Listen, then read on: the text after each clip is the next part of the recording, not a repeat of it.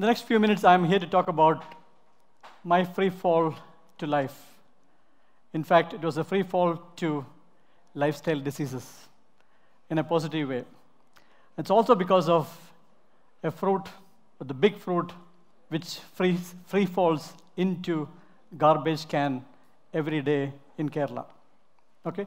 So I took a task is it possible to revive this fruit? To take this jackfruit a future? Okay, so that's what I started. So what I'm going to talk about is the invention of a green jackfruit flour, which to me is a big fruit surprise for the big food companies, as well as for WHO. The World Health Organization yesterday talked about beat NCDs, and the hashtag beat NCDs, non communicable diseases, is a major problem for the world. It's a focus area. And how do we do that? It is by converting grain to green in our plate. That's a story I'll be talking about how I discovered this through the humble jackfruit. Okay, are we ready? So, what are we talking about? What is jackfruit? What is chakka, right? Jackfruit means five different things to people. Okay? It's a fruit, it's a nut, it's a vegetable, it's a vegan meat, or Brahmin's meat, and it's also a staple food, a carbohydrate for mainly for people from Kerala and Sri Lanka. It's a meal, right? What we're talking about is, and it's all known as jackfruit, right? What we're talking about is chakka. Okay, what does that word chakka come from? Is it a fruit? In Malayalam, it's called chakka. In Tamil, it's called palakai. In Telugu, it's called halsinakai. In, um, in Telugu, it's called panasakai, and in Telugu, uh, Kannada, it's called um, halsinakai, right? So the word kai in English means green fruit. So chakka is a green jackfruit, not a fruit. It's a green.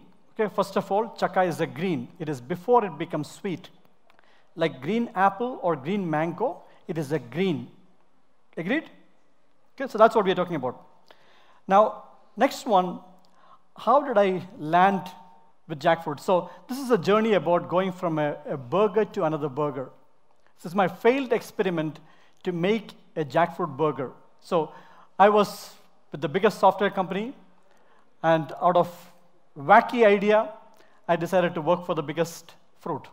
Okay, so the free fall from the biggest software to the biggest fruit because I decided to write a book. And in between, I was looking at the jackfruit. I said, okay, this is going waste every year. This is Kerala's state fruit. 600 crores worth of jackfruit goes waste every year. Something must be done about it. Okay? So initially, I made a green jackfruit burger. Like one of the largest big food companies in India has a vegetable burger made of potato and rice. So why can't I make a vegetable burger with the green jackfruit? It came out really well, but the burger manufacturer told me the cold chain in India is not as established as the Western countries. If it is for export, I will give it a shot. But to me, if it grows in India, it should be consumed in India called the Farm to Fork. So that was my first goal. So then I dropped the idea of the frozen burger campaign. Then I went on to make it as a five star item. So the IEA jackfruit, IEA chakka to the AHA chakka. So I made it available in five star hotels on the menus, and we had 100 five star recipes on jackfruit. That is when it became the jackfruit is a five star chakka now. Okay, so that was the first marketing campaign which I did with it. But then, 2014 Easter, something strange happened. Father Thomas came to me, and this is my entry into lifestyle diseases. He came and narrated an incident that he took his norm, he, he's been diabetic for seven years, and this is one of the non communicable diseases, one of the largest non communicable diseases, is diabetes. So I'll focus on that, what role jackfruit can play there. So he told me that one night he took the Kerala jackfruit meal, and then after, after 50 minutes, he took his normal dose of insulin and he collapsed he became hypoglycemic. So, what is the Kerala jackfruit meal? The three ingredients are green jackfruit, turmeric, coconut, and then a few other things. It's steam cooked. It's very lightly cooked, right? So I then did a nutritional comparison on what is green jackfruit, chakka, versus what he used to eat was rice or roti. So when I compared with that, the calorie was 70 less than a cup of rice or 115 less than two rotis. So almost half, 40% to, to 50% difference between rice and roti. So the calorie was low. Then I looked at, is there any scientific studies out there which shows that green jackfruit is good or bad for diabetes? So Ceylon Medical Journal had one published study which shows the glycemic load of green jackfruit. Only Kerala and Sri Lanka has the culture of eating green jackfruit as a meal. Everybody else takes it either as a fruit or as a sabji or a vegetable. Right? So Sri Lanka did a study on this, and the glycemic load there was 13. Okay, and you can see that the, the dotted line is what happens when you take the jackfruit meal. After 30 minutes, it comes down really, really fast. Whereas normal food, it goes up, and over two hours, it gradually comes down like a mount. So this priest took his insulin after 30 minutes, so it was already coming down, so it became hypoglycemic. So I could, I could relate to what happened.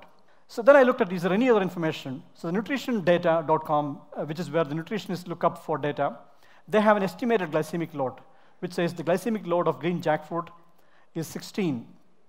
But nobody has done a study on the Kerala jackfruit. So I send, then sent the Kerala jackfruit to Sydney University Glycemic Index Research Service. That is the world's best in glycemic studies. And what did we get? The glycemic load is 17. So three separate studies. It is 17, 16, or 13. So 17 or less. Now how do we compare this with rice or, or roti? Rice is 29. Roti is 27. And green jackfruit is only 17. So almost half. So calorie is low, carbohydrate is low, glycemic load is low. It's definitely better than rice and wheat, right? So the, the verdict came clear. It is a better alternate to rice and wheat, and people can continue to eat this. Okay, that was the first conclusion which we got from the study. I look at the best plate. So American Diabetes Association has the perfect plate concept, which is 50% of the plate should be green. Okay, now let's look at, and 25% should be carbohydrate, whereas an average Indian plate is at least 80% carbohydrate. Okay, we got it completely wrong. Okay, in fact, the green revolution of India is actually a grain revolution at the expense of greens in our plate. We started eating less greens, right? So let's look at the oldest plate of Kerala. So when we have jackfruit meal, 50% of a plate was green jackfruit with turmeric and coconut. And then 25% was a protein, fish curry or paneer curry or egg or chickpea curry. And finally, we will have the rice porridge, which was expensive. Rice was expensive those days. So we used to fill our stomach with the green jackfruit. So this is a perfect plate as per American Diabetes Association because chakka is a green, right? So 50% of the plate is green, 25% is protein, 25% is carbohydrate. And this is also called a neutral calorie plate. This is only 500 calories because a cup of jackfruit is only 100 calorie. The half cup of rice is 200 calories and protein is 200 calories. So 500 calories plate, whereas typical Indian plate is minimum 650 calories. Okay? And if you take the rice out, if you eat only green jackfruit and the protein, you get a 300 calorie plate, which is called a low calorie diet. And if you want to look up on what happens with the low calorie diet, it was published in, in December 7th in Lancet. Uh, the very low calorie diet can reverse diabetes. And that science is already out there now. That's a breakthrough in diabetes that diabetes can be reversed through a calorie restricted diet. But the key difference here is that jackfruit gives you high satiety. It makes you feel full for longer. So at 300 calories, you have a full meal. Okay, that is the big difference between jackfruit and all other low calorie diet out there. It, it's filling, it keeps you full. Okay? So what happened to Father Thomas? After I, I brought the study back to him, he stopped eating rice and wheat. And he would take the green jackfruit meal or other vegetable and only the protein. And within one year, he lost 12 kilos and he stopped taking medicine completely. He was completely out of insulin. Okay, so this is what happened so this is again the low calorie diet effect. And if you have the level of detail, look at the collar of, of the second picture. You can see the gap between his collar and neck. He lost 12 kilos. Okay? Now, by this time, my book got published, and Dr. Kalam got the first copy. And I told him what I was working on, so he wanted to know what I was doing with jackfruit. And he went through it, and he said, This is pure science. This is not medicine. A high fiber meal always translates to low absorption of sugar. That is pure science. But there's only one thing new here it's possible to eat an unripe fruit as a meal. Most fruits you cannot because they are extremely acidic. If you look at green mango or green apple, when they are not ripe, they're extremely acidic. You can't eat in quantity. Whereas green jackfruit, you can have a plate full because of the low acidity. You must find a way to add this to what people normally eat. Okay, you can't expect rest of India to eat the Kerala jackfruit meal. You must find a way to add this to what people normally eat. Okay? So what he asked me was, look at a way to add jackfruit into idli and roti. That is what whole of India eats. Okay? The way we added iodine into salt. Without any change in taste or texture, can we add this to what people normally eat? Then there will be no resistance to change. Okay, it took 18 months. It took 18 months of engineering hacks. And finally, we cracked it. What did we get? We made a flour out of green jackfruit. And this is my claim to fame in engineering. Okay, after 25 years, and I have significant competition, my classmates, what goes through their hand has gone to Mars. Okay? And I had to file two patents to get this. And this is not a powder, this is a flour which has got a binding factor higher than rice flour and less than wheat flour. So up to a third you can add to idli, to dosa, to roti, to dokla. You won't have a clue. But when you take in three idlis, you're getting two idli and a vegetable, correct? One third is the green jackfruit. When you're taking three rotis, the third roti is a green fruit. It is a green. So you have an automatic reduction in grain and an increase in green right? Without changing the number of idli or roti you're eating. Okay, so that is, that is the breakthrough which we did. Now, how does this, so we can look at this. There is absolutely no. So in South India, idli, dosa, putta, you name it. Anything which you use a rice powder or a rice batter or a wheat, wheat flour, we can replace a third without any change in taste or texture. Okay? The fulka, the puri, the upma, anything, anything which India eats, we can, we can replace it except the rice. Okay? We'll have to do a lot more engineering if we want to replace the rice. Okay? So now let's look at the non-communicable diseases. What does WHO, World Health Organization, asking the big food companies to do? Increase availability and affordability of vegetables and fruits. So off the, off the top six, six ask. Number two is increase the availability of vegetable and fruit and the affordability. Number six, reduce calorie density in food. Okay, so if you look at, if you look at the, all the fast food which we eat, the calorie is very high. So hypercalorie diet is causing non-communicable diseases. So we have to reduce the calorie density. Okay? Is there a role for the big fruit? So in the flour form, this is what we did. Okay? So when the burger failed, so what WHO is asking for big food companies is to reduce portion size. So I've removed a quarter of it, 30% I've taken out, and increase vegetable and fruit consumption, right? If I can add a green fruit into it or a green vegetable into it, you achieve both, correct? And what did we do? With the jackfruit flour, we could replace a third of the bun and a third of the patty, and you won't have a clue you won't have a clue. You have replaced both the grain and the meat with the green. Okay, this is what we have cracked with the green jackfruit flour. Okay, now we didn't stop there. We did a competition for chefs, five-star chefs in Kochi, to include one-third green jackfruit flour in the pizza. And the top chefs, in fact, Chef Abhishek, the youngest chef, he actually did 50% of the flour with jackfruit. And nobody had a clue that the pizza had jackfruit in it. And two weeks from now, we're running a competition in Pala, parota making competition. Okay?